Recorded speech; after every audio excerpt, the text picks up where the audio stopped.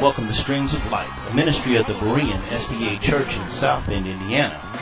Tonight we'll continue the message by Dr. Knight entitled Unlocking the Power of the Word. Stay tuned at the end of our program for more information about the Berean SDA Church and how you can help spread the gospel in the Michiana area. 1 John 5.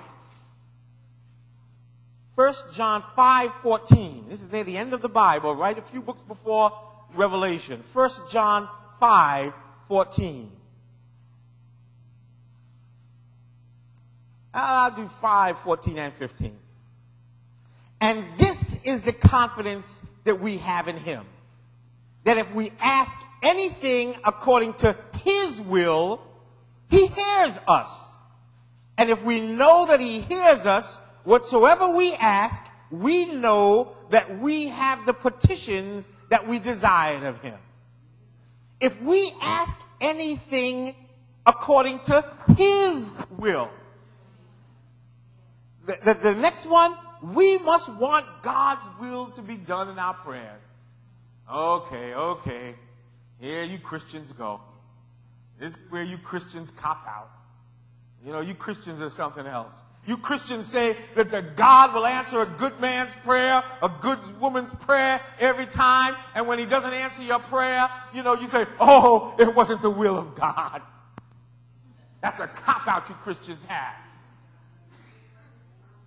Well, you know one thing in my life, I have found that I want to put everything in God's hands because He knows the beginning from the end.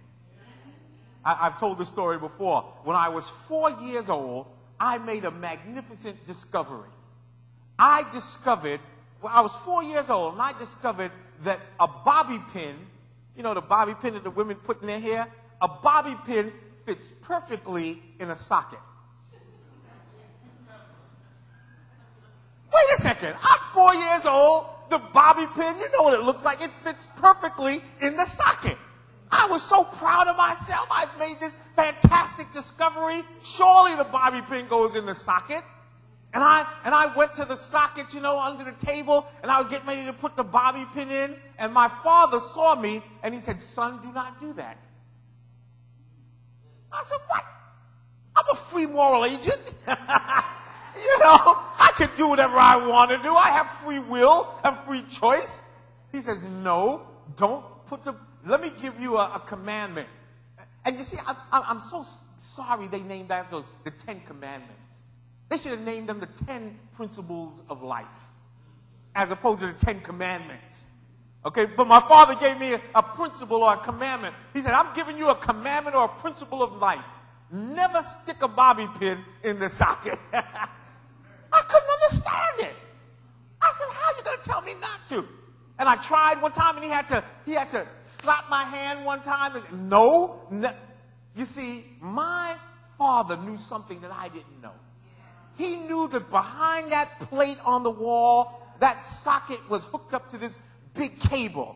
And this cable went down in the ground and ran through the city streets and, and ran to the electric company and hooked up to this big giant generator that put out billions of watts of electricity. And if I had stuck that bobby pin in the socket, death, disease, and destruction would follow. I didn't understand it, but my father knew. So, so, so yes, that's what I wanted to do, but uh, when, when we get to heaven, we're going to look back over our lives and we're going to see some of our greatest blessings were prayer requests that we made that God never answered. I was, I was in, in uh, and my wife has heard this story before. I was in high school. And remember when you were in high school, you used to go with folks? You used to go steady with folks? Well, there was this young lady that I wanted to go steady with in high school. Never forget her, boy, Deborah Williams. And, and, and I, I, I wanted to go steady with her. So I said, okay, I, I was so scared to ask her to go steady with me. But I, I, I went over and I said, I'm going to ask her to go steady with me tomorrow. And I prayed. I said, Lord, please let her go steady with me tomorrow. And I got dressed up, you know, I put on my Block International sweater and silk and sharkskin pants, Playboy shoes. I, I was looking good, went to school, and I asked her to go with me. And the Lord answered my prayers. She went steady with me. That girl was my worst nightmare. she drove me every which way but loose. She was crazy. I should have said, let her go with me, Lord, but thy will be done.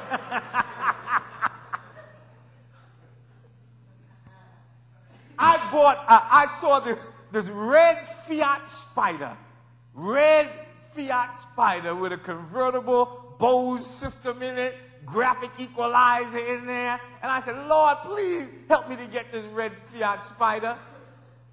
Y'all, listen, don't ever buy a Fiat Spider. The Lord answered my prayer. I was able to buy it. That thing left me on the freeway six times. Six times I got stuck on the freeway with that red Fiat Spider. I should have bought a little Volkswagen or something, you know. But I, I should say, Lord, thy will be done. And that's, that's, that, that's the thing of it. You see, we can only see what's in front of us. But the Lord sees around corners. He's omnipotent, omnipresent, omniscient. He sees the beginning from the end. And he loves us. And he doesn't want anything to hurt us. So when we pray, we say, uh, Lord, this is what I want, but thy will be done. We must listen to God and obey God if we want our prayers to be answered. Oh, I'm going to blow somebody's mind now. Proverbs 28. Now, this is not what I'm saying. Everything has been in the Word of God. Amen? Proverbs 28, verse 9.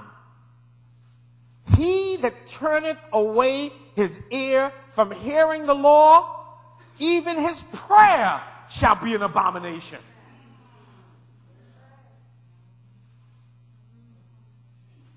Wait a second.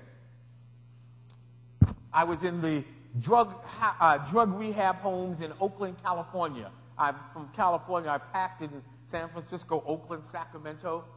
And I never forget in a rehab situation, uh, I was telling uh, someone, you cannot pray to God to take crack out your life. God ain't going to answer that prayer. You can't say, Lord, please take the crack out of my life over here, but I'm going to keep on chasing women and whoremongering over here. Lord, please take the alcohol out of my life over here, but I'm going to keep on lying and stealing over here. Lord, the drugs and alcohol over here is messing up my sinful life over here. So, Lord, take the drugs and alcohol out of my life over here so I can continue living my sinful life over here. It's not going to work. You have to do like I did in 1986. I said, Lord, please take my life, my whole life, and do with it whatever you want to do. You see, because stopping using drugs is no problem. Stop, getting off of drugs and alcohol and cigarettes, no problem. I, you know, I, you could, I, I, it's no problem because I stopped 50 times. so stopping is no problem. It's staying stopped. it's staying stopped. Who knows what I'm talking about is true. Stopping is not a problem. 50 times I stop. But, but, but, but it's only a God that can help you with this. And that day, I said, Lord, take my life, my whole life, after stopping 75, 80 times. I said, take my life, my whole life, and do with it whatever you want to do with it. And, I, and, at that time, I said, Lord, please don't even give me the power to overcome, because if you give me the power, I'm going to mess the power up just like I mess up everything else. You have to be the power in my life. You do it, Lord. And in the process of taking uh, my entire life, he took that Vida Loca, that crazy life out of me. He also took the cussing out of my life. He also took the, uh, made me faithful to one woman. He also took the lying and the stealing out of my life. You cannot but. Wait, you know what? I see couples. They come to me for marriage counseling. I've been, I've been a, a marriage counselor for 20 years uh, since I left the seminary. And I see a couples come to me and they say, Well, Pastor, I'm having a, a we're having a problem over here in our marriage, but, but we're still gonna, you know, we're still gonna drink wine and, and do what we want to do over here. Lord, we're having a problem over here, but we're still gonna, you know, bow down to graven images over here. Lord, this area in my marriage is, is messing up what we want to do. So help fix this one area over here so we could do what we want to do. It doesn't work that way. It's all or nothing at all. All or nothing at all. So we must obey God. When we find the truth, we must obey God. And if we don't, what does Proverbs 28 say? Even our prayers shall be an abomination. Next. We must praise God and be thankful for God's goodness to us. Wow, Philippians. Philippians. We have to throw some prayer in there. Uh, Philippians, the fourth chapter. Let me start at verse 5. Let your moderation be known unto all men. The Lord is at hand. Be careful for nothing, but in everything by prayer and supplication. With thanksgiving, let your requests be made known unto God. And when you do that, the peace of God that passeth all understanding shall keep your hearts and minds through Christ Jesus. And you know, as a parent, my wife and I, as parents, we don't want anything from our kids. You know that? We don't, they don't have to give us any presents. They don't have to send us any money. You know what? You know what we love when they do? When they call us up and say, thank you, daddy. Thank you, mama. You know, thank you for setting us on that road. That's all we want. Just a little thank you down there. Who knows what I'm talking about? The Lord don't need anything from us. But before you ask for what it is that you need, just say thank you, Lord. Thank you for always being right on time. Thank you for all the blessings you showered me with throughout the years. Thank you for what you're doing for me right now. But not only that, thank Him for blessings that are on the way. Friends that you don't even know you're getting ready to meet. I, lifting you up that you don't even know you're getting ready to fall. Jobs on the way that you don't even know you need a job. thank Him for in advance. And the Bible says that that is the path to peace. Well, be thankful for God's goodness. Just say thank you every now and then. You know, that's all God wants. Just say thank you. Well, I hope somebody's praying for this last area. Someone pray right now just for this last area, because this could be the most significant aspect of these 10 principles for prayer. We must ask God to forgive us of our sins. Now, this is a threefold process. The first is confession. We must confess our sins. Let's go back to 1 John. Let's go back to 1 John 1, verses 8 and 10. 1 John 1, verses 8 and 10.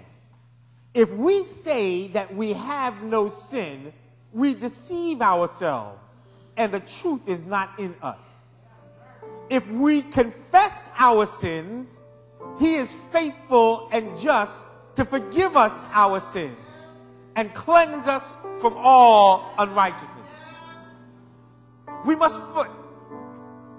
it's a kind of catharsis, it's a kind of cleansing uh, when we say, Lord, and please don't say, Lord, if I've sinned. I want to mean if. You know you sinned. so just, just confess, Lord, I've messed up. And he is faithful and just. That gets me. He is faithful and just to us. So we have to confess our faults and sins. And sometimes we sin so much we don't even remember. So after you finish, just make a blanket confession I, Lord, and anything else I've done, please forgive me of my sins. You know, that's a little bit too early. The, the, the, the, the, the, the next point is repentance. We have to repent of our sins. Godly sorrow worketh repentance. 2 Corinthians uh, uh, 7 10. 2 Peter 3 9. The Lord is not slack concerning his promise, but is long suffering towards us, not willing that any should perish, but that all should come to repentance. And repentance means feeling sorry for sin. And the only way I could explain this is how many here remember uh, when your first love broke your heart? Anybody have a love that broke your heart? Come on, raise your hand. I see. Remember when your love broke your You know that pain that you felt inside? I I, I, love broke my heart one time and shot it, shot it, stomped on my heart, you know, stabbed it three or four times. It, you know what I mean with that pain. Uh, I remember one time after giving my life to Christ, I, for one instance, I turned back to that Vida Loca. Nobody would have known about it. I was by myself. Nobody would have known about it. But, but when I came back to my mind, I said, oh, I let God down. I let my family down. I let myself down and I wept bitterly by myself in my apartment by myself. And that same pain, when that love broke my heart, is when I felt that's repentance. For, not repentance because I got busted. Yeah, you know, I'm not talking about if you get caught, you're sorry because you got caught. Sorry for the sin. That's repentance. And then the last one uh, is a forsaking of that sin. Proverbs 28. Let's go back to Proverbs 28. Proverbs 28, uh, 13 and 14. He that covereth his sins shall not prosper, but whosoever confesseth and forsaketh them shall have mercy. Happy is the man that fareth always but he that hardeneth his heart shall fall into mischief. Not only do you have to confess your sin, not only do you have to feel that heartfelt repentance, but you have to turn away from that sin. You, you, you got to do everything to. I, when I gave my life to Christ, I went home and rearranged my apartment. I threw out all the things that reminded me of that ashtrays, anything that reminded me about that old life. I had to give up some good friends because good friends because their lifestyle was not congruent with my lifestyle. I had to give up some relatives for a while, you know. I remember I had to drive home from work a different way because if I drove home from work and passed that same liquor store, I would have been in trouble. So I had to drive a different way home. You have to make a conscientious effort to turn away from the sin. You can't go to those same places you went to and say, I'm going to be strong. You got to turn away from that means forsaking the sin. And sometimes you just got to pray to the Lord. Lord, you got to help me. You got to help me. And I found the key. You pray craving for craving when you're talking about mind altering substances. Craving for craving. I had smoked cigarettes for 15 years. And, and, and, and anyone who smokes cigarettes, you know what? there's a hunger in your chest. You know, you're hungry for the nicotine. And, and sometimes that stuff would get so bad. But I found a key that when I got that craving, I would just pray, Lord, you got to help me. I never forget one time I was in my apartment by myself and, and, and, and the cravings were on me. The cravings were on me. And, and I said, Lord, you got to help me because I'm afraid that if, if I leave this apartment, I'm going to be in trouble. And the cravings were on me. Because I gave up everything all at one time.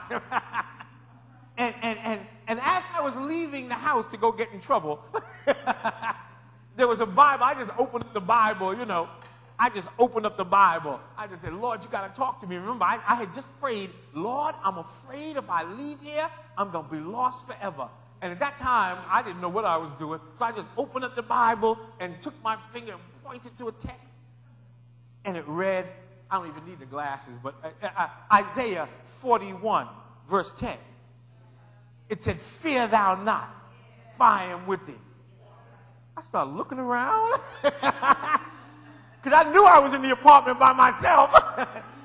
I thought the apartment was bugged or something, you know. Because I had just prayed, I'm afraid. And it said, Fear thou not, for I am with thee. It said, Be not dismayed. Don't upset yourself. Why? Because I am thy God. It, it said, I will strengthen thee. Yea, I will help thee. Yea, I will uphold thee with the right hand of my righteousness. And folks, I didn't hear any voices. I didn't, you know, but I tell you, I got a little I didn't go out that day. And every time I got a craving, I would pray. And the Lord would sustain me. Because it wasn't me doing it, it was Him. So, so, so you must confess your sin, repent, and forsake. But the last one, number 10, we must forgive others as we would expect God to forgive us.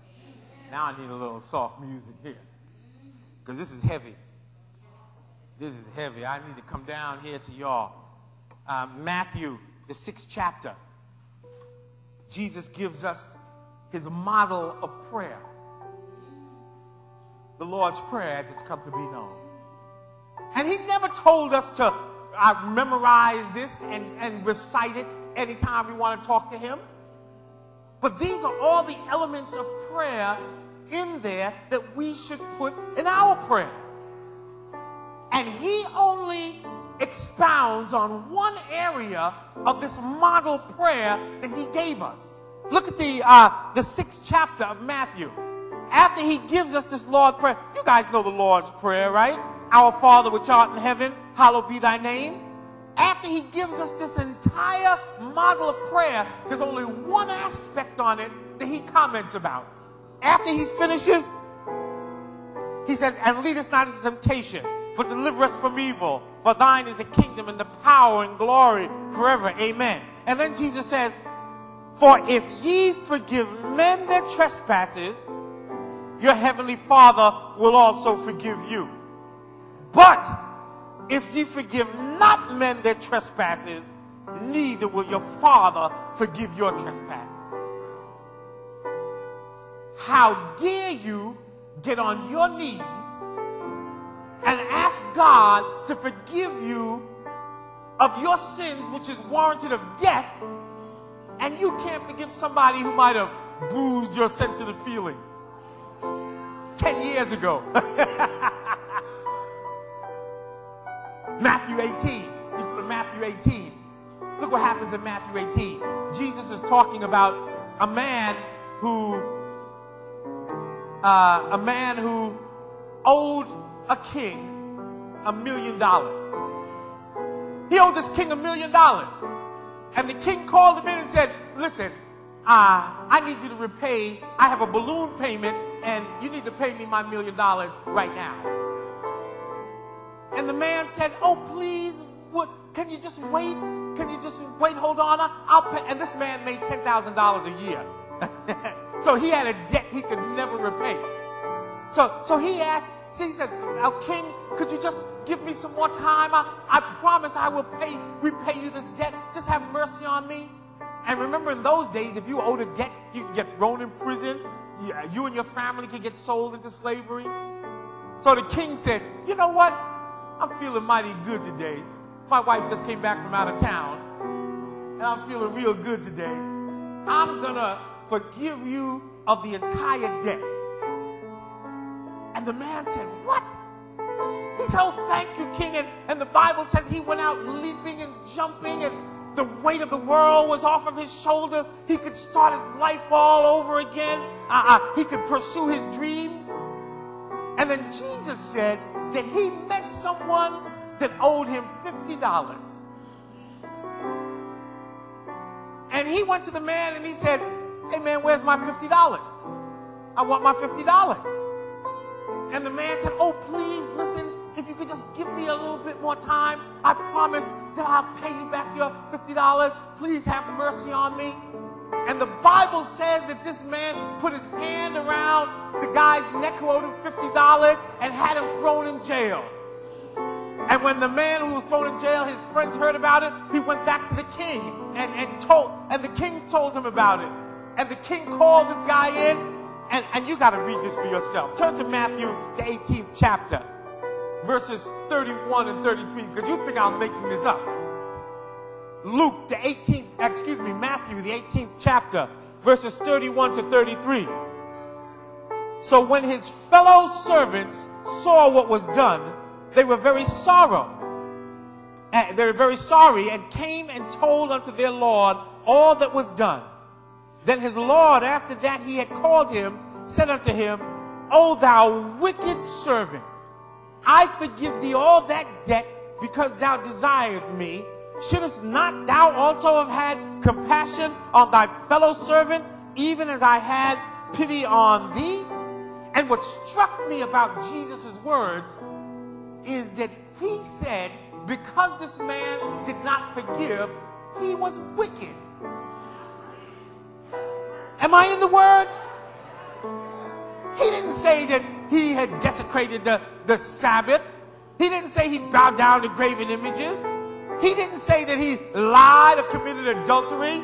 He said because he didn't forgive, he was wicked. And when Jesus says you're wicked, you are in a clear and present danger. So you want your prayer lives to be sweeter? You want your prayer life to be richer? Implore these 10 biblical principles. And you'll see an immediate response in your prayer life. Thank you for tuning in to Streams of Light, a ministry of the Berean SDA Church in South Bend, Indiana. We pray that you are blessed by the program and that you'll tune in next week for another episode of Streams of Light. We'd like to encourage you to support Streams of Light TV ministry with a love gift of any amount. Donations can be sent to Berean SDA Church, 601 West Colfax Avenue, South Bend, Indiana, 46601. Please be sure to put Streams of Light in the remarks section of your check or money order. As always, we'd like to invite you out to our worship service each Saturday morning at 11 a.m. and our prayer, power, and praise service each Wednesday beginning at 645. Again, thank you for tuning in to Streams of Light.